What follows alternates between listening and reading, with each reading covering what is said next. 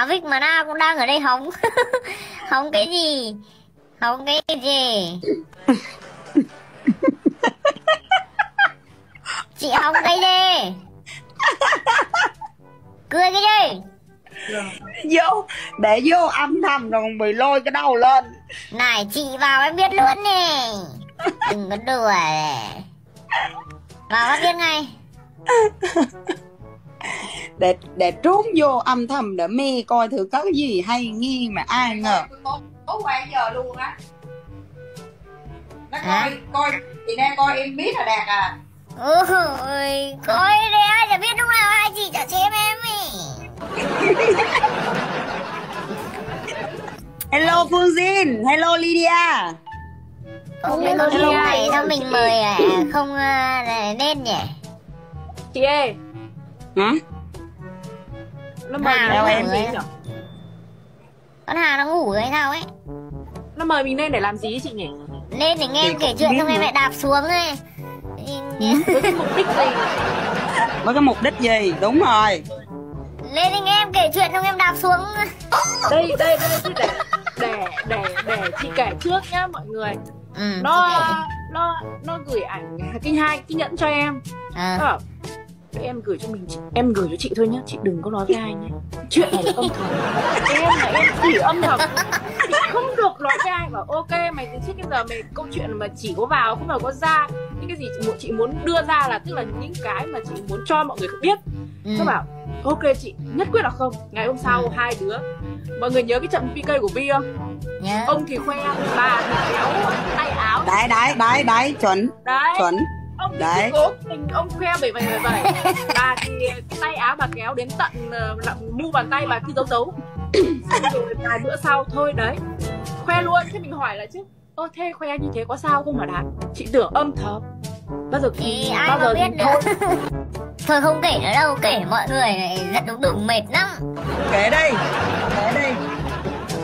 Thì thôi đấy đến cái đoạn mà hỏi em có làm vợ anh không? Thì bảo có thì à, xỏ ra một xỏ này đấy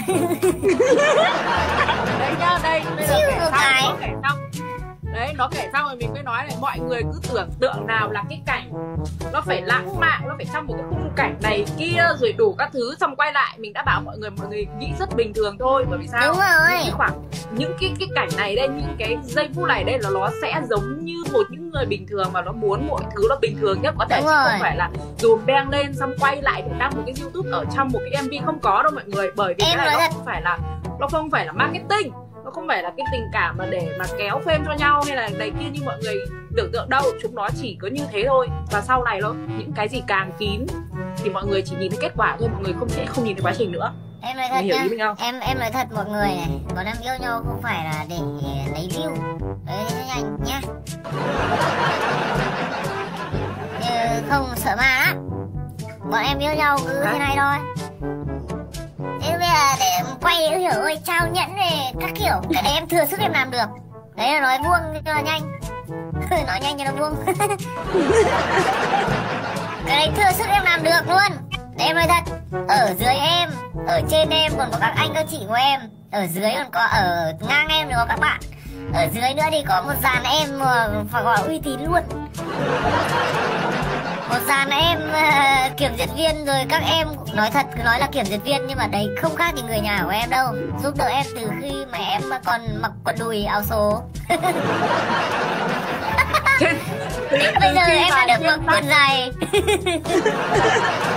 Mà tưởng như là đi nhưng mà đúng ấy đến giai đoạn này là tự nhiên mình nhìn lại mình cũng cảm thấy là nó là quả, một quãng thời gian mà phải trải qua quá nhiều chuyện và quá nhiều cảm xúc quá nhiều những thứ mà thật sự những cái lúc mà mệt mỏi cực kỳ luôn.